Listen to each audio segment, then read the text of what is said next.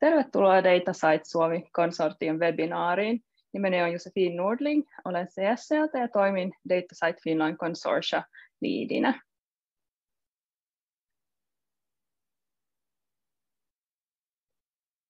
Kerron lyhyesti DataSiteista, minkälainen organisaatio se on ja minkälaisia tuotoksia DataSite metadataskeema tukee.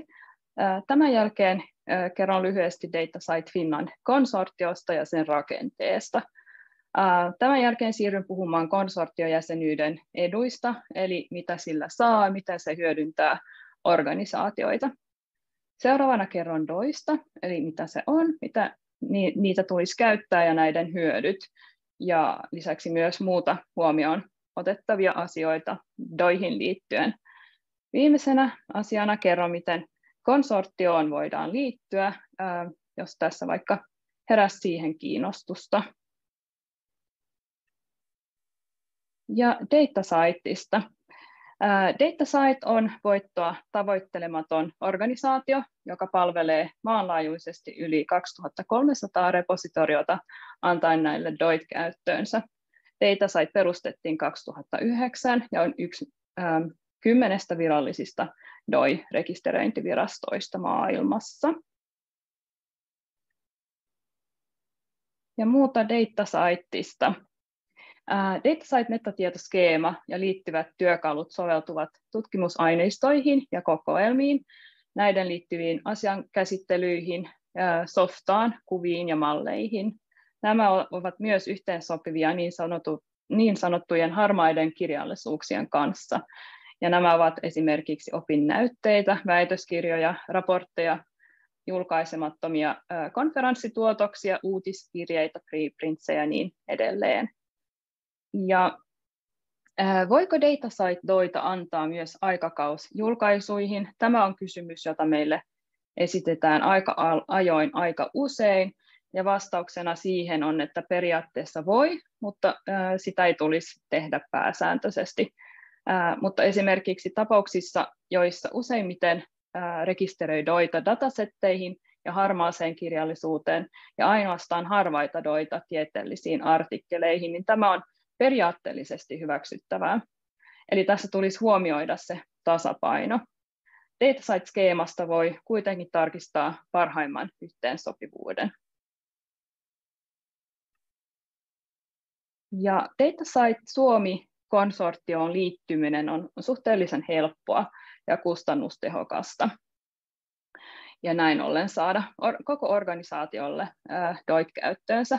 Ja tässä on ainoa ehto, että jos luulee pärjävänsä 10 000 doilla per vuosi, niin, niin tämä jäsenyysmalli sopii ää, sinun organisaatiollesi. CSC toimii tosiaan konsortion vetäjänä ja organisaatiot ovat konsortion jäseniä.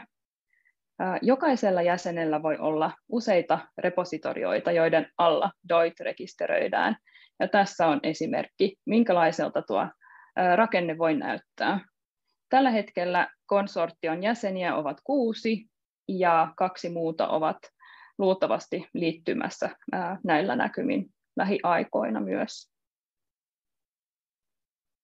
Ja sitten yleisesti, mitä, mitä hyötyä jäsenyydestä saa. Tässä nyt muutama esimerkki. Eli jäsenyys antaa organisaatioille mahdollisuuden luoda ja jakaa organisaation omia doita, ja täten myös tukee hyvin, hyvien datanhallinnan käytänteitä, esimerkiksi juuri yhteentoimivuutta ja FAIR-periaatteiden noudattamista. Ja tukea ensimmäisen tason käyttäjille saatte myös CSCltä esimerkiksi Fabrikan käyttöliittymän käytössä. Lisäksi DOI-hallinnan tukea esimerkiksi datan julkaisemisessa ja viittaamisessa, mutta myös ensikäden tietoa relevanteista datasite-kehityksistä ja mahdollisuus vaikuttaa datasite-palveluihin palautteen kautta. Ja tarkoituksena on myös, että, että tota niin, tarjottaisiin verkostoitumismahdollisuutta. ollaan nyt perustamassa tällaista kuin datasite.fi-sivustoa, johon julkaistaan tietoa kootusti ja jossa myös jäsenyyslistaa ylläpidetään ja tämän kautta sitten voi tätä verkostoitua varsin hyvin. No niin, ja sitten vähän yleistietoa DOIsta, eli Digital Object Identifierista. Eli DOI on uniikki ID verkossa olevaan kohteeseen, mutta myös kohteen metatietojen tieto, tietu, tietue on URLilla varustettuna. DOI on rekisteröity maailmanlaajuisessa DOI-järjestelmässä, eli prosessi tässä menee yksinkertaisesti niin, että käyttäjä klikkaa DOIhin vievää linkkiä, jolloin DOI-järjestelmä löytää tämän DOIn tietoetta ja viimeisempänä käyttäjää ohjataan ajankohtaiseen DOIn tietuessa listattuun URLiin. Ja miksi DOIta? No, tärkein syy on ehkä se, että URLit eivät ole pysyviä pidemmällä aikatähtäimellä, koska esimerkiksi sivun tai verkossa olevan kansion osoitteet voivat muuttua.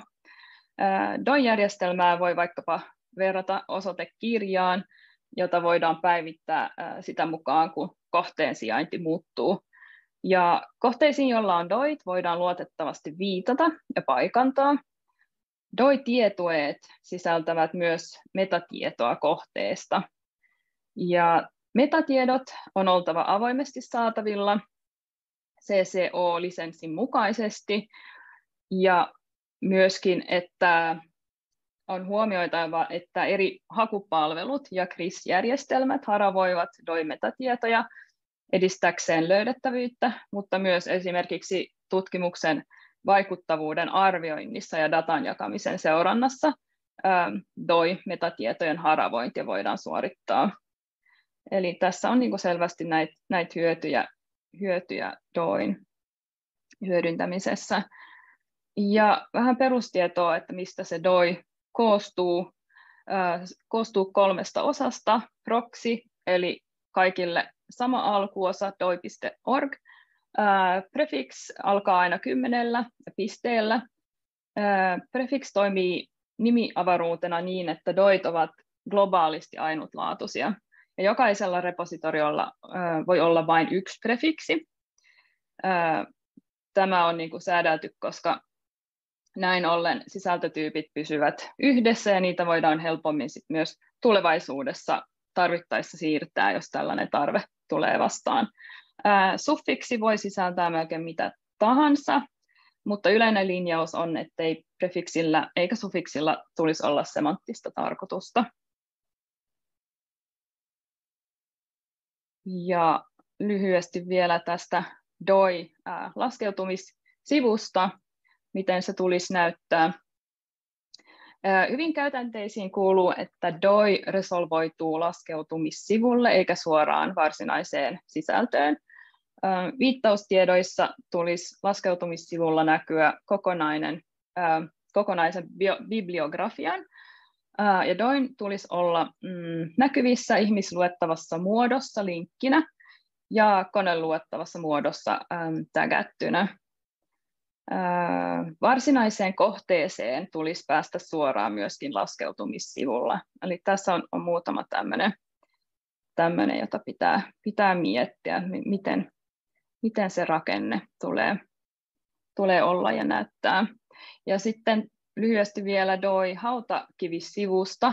Tähän tulee periaatteessa samat tiedot kuin laskeutumissivulla, mutta lisäksi myös tietoa siitä, ettei kohde ole enää saavutettavissa. Ja sitten tämä, että miten, miten DOIT liittyvät FAIR-periaatteisiin.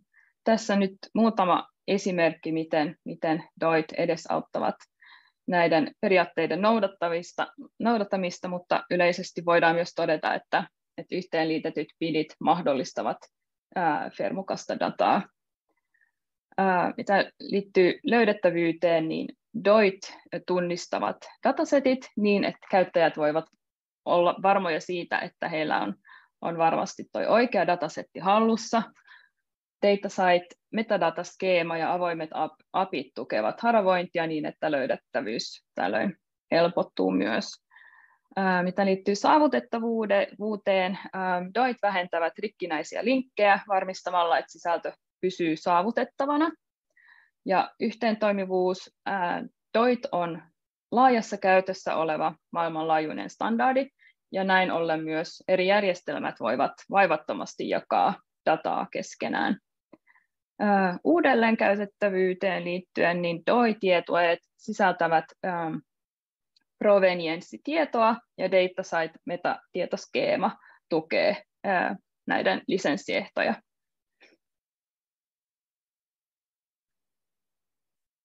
Ja muuta sitten huomioitavaa, mitä liittyy juuri datasite DOIhin. DOIT tulisi vaan antaa oman organisaation alaisuudessa olevalle sisällölle. DOITA tulisi vain antaa ainutlaatuiselle sisällölle, eli ei tulisi antaa DOIT noita sisällölle, joka on jossain jo muualla julkaistu. Tekijänoikeusasiat tulisi myös huomioida ennen DOIN antamista. DOIT tulisi resolvoitua julkisesti saatavalle olevalle laskeutumissivulle. Varsinainen sisältö ei tarvitse olla julkisesti saatavilla, mutta metatiedot on oltava avoimesti saatavilla kuitenkin. DOI-metatietoja tulisi päivittää jos kohteen metadata muuttuu ajan myötä.